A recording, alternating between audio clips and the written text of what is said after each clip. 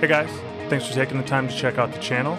Do me a favor and hit the like and subscribe buttons. It really helps give me feedback on what you guys are enjoying, what you might like to hear more of.